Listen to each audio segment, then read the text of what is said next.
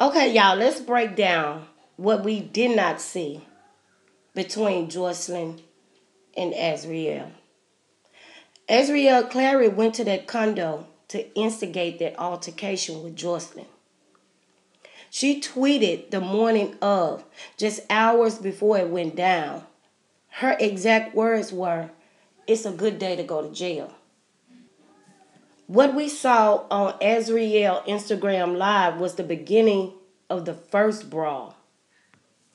Joycelyn did whoop her ass. Nobody is wrong about that. Azriel wanted us to see that. She knew exactly what to say to trigger Joycelyn. And that was you going to jail for sleeping with a minor with him. Azriel instigated the altercation further by saying, He doesn't like men. You just snitched on your own boyfriend. Azriel was insinuating that R. Kelly is bisexual.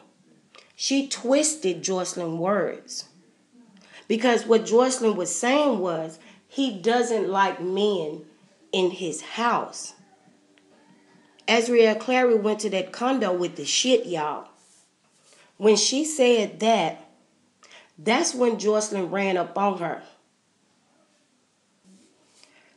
Before Azriel said that, Joycelyn was standing there looking confused at the welcome home balloons and looking at the camera crew that Azriel had recording her and looking at Azriel recording her on Instagram Live. She was trying to process everything that was going on around her, but at the same time, she was agitated.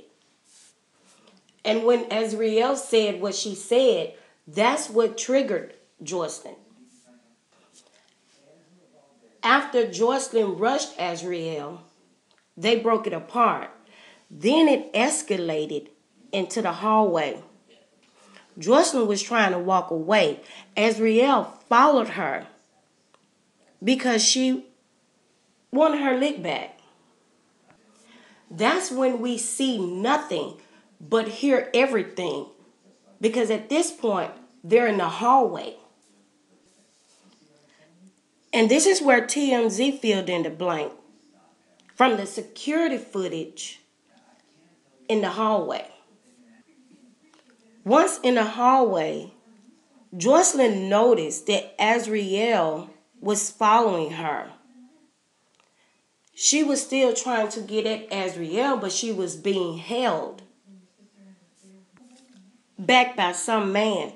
That gave Azriel the opportunity to run up on Joycelyn and hit her. And that's when Joycelyn fell to the ground. Then Azriel walked off. Joycelyn jumped up and ran after her. Azriel Clary then grabbed Joycelyn's hair, threw her to the ground, and popped her continuously until that lady and two men broke it up.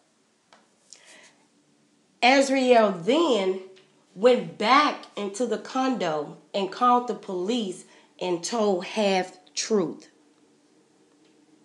She should have been arrested too. They fought each other. It was an even swap, no swindle. In my opinion, Azriel should have never called the police. But since she's playing police games, Joycelyn Savage need to return the favor. Thanks to TMZ, Joycelyn can beat that charge. All she got to do is keep it real and say we fought each other. Because Azriel is all over Instagram bragging, insinuating that she beat up Joycelyn. They both were aggressive, but Azriel instigated it. Azriel continues to tell us she's playing chess. No, she's not. She's playing tic tac toe. Chess is all about strategy.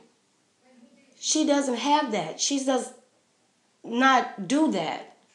She let us know her move and then she does it. There's no strategy in telling me what you're going to do and then do it. I am so sick and tired of people saying that these girls are victims and survivors. They are not victims and survivors. They are willing participants. They consented to be with that grown man. That's morally wrong on their part.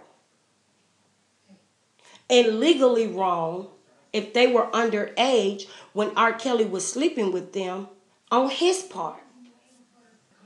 And this is why I say everybody is guilty and grimy. Nobody hands are clean in this R. Kelly scandal. I saw two hoes fighting over a nigga. I saw two ratchet ass young bitches fighting over the king of R&B. Every time you turn around, Azriel Clary is on social media going live or making posts. She's always talking about some damn food, her weave, a YouTube channel, Twitter, Instagram, her new album, all that dumbass shit. That's not a victim or a survivor. She has never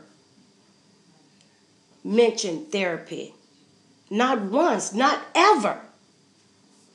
She's trying to come up off R. Kelly simply because her name is attached to R. Kelly.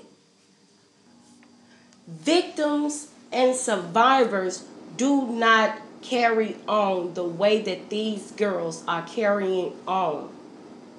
Victims and survivors do not fight over someone that they're claiming held them captive, kidnapped them, brainwashed them, gave them Stockholm syndrome, and all this. Starved them, beat them. None of that. All the rumors that was out months ago about them moving out was not true. Them bitches stayed in that condo until eviction day. Them hoes literally got evicted. And that's what we saw unfold during that altercation.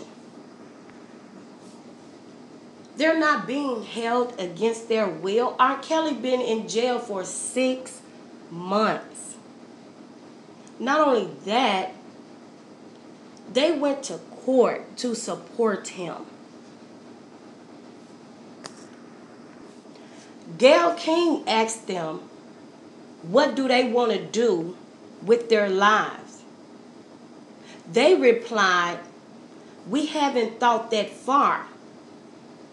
We're comfortable and content with what we're doing right now because we know that Robert is going to support us in whatever we do.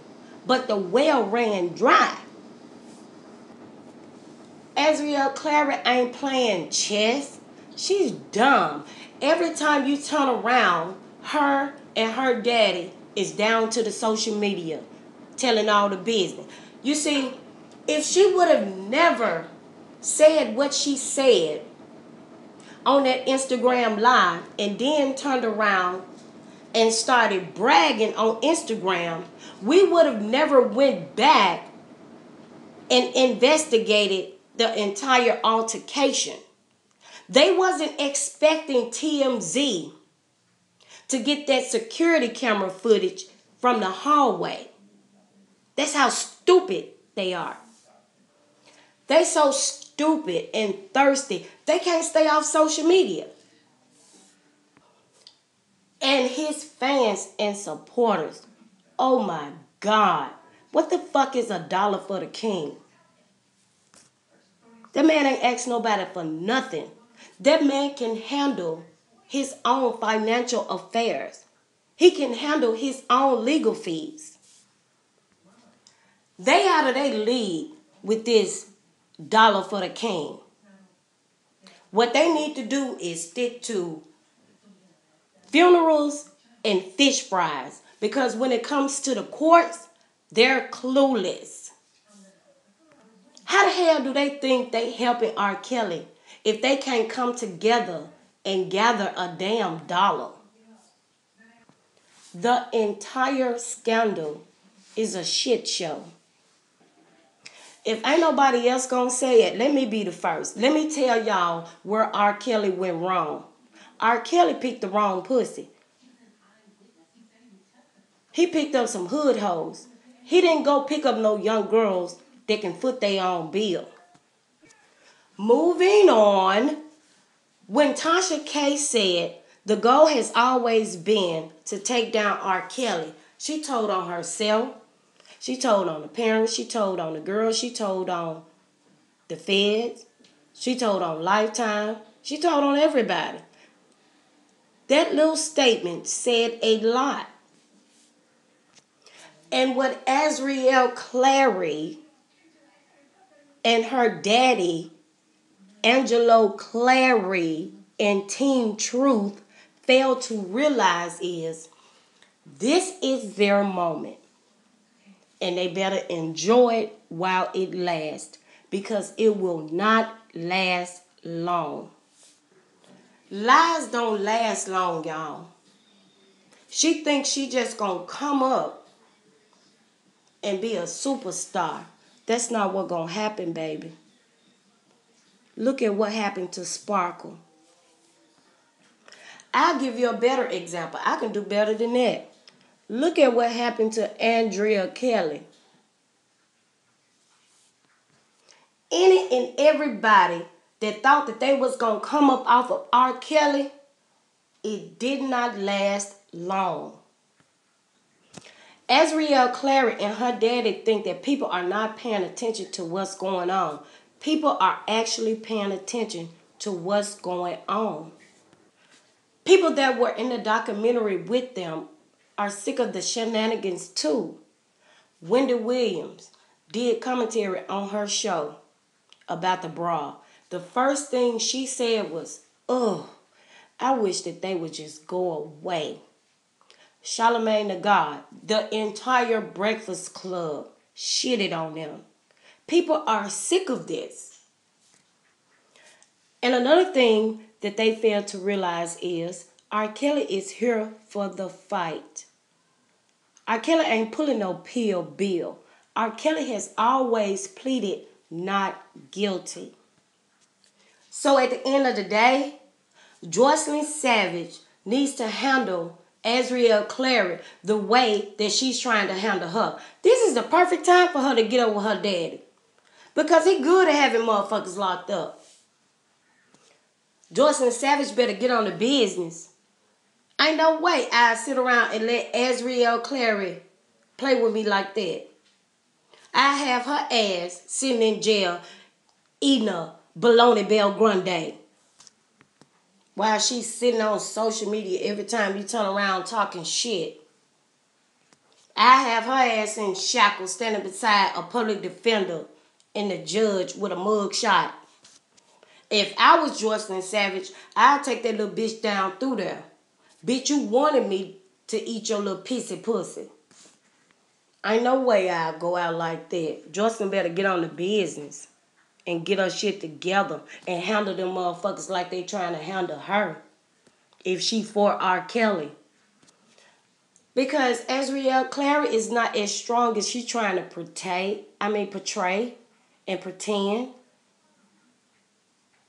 Y'all see how she broke down? Oh, this nigga. She was literally having a breakdown when she was on Instagram Live. But she was trying to keep it together at the same time and pretend to be tough. She ain't playing no damn checkers. That little bitch playing tic tac toe. And another thing, her daddy going so hard after R. Kelly, but what about the dude that led her to attempt suicide? You mean to tell me that your daughter attempted suicide because a regular ass nigga cheated on her. But then you turn around and push her in the arms of the king of R&B who has thousands of bitches running behind him. And she turned around and ended up in a polygamous relationship with him. Can y'all make that make sense? Then got the nerve to talk about some fuck R. Kelly. No, nigga, fuck you.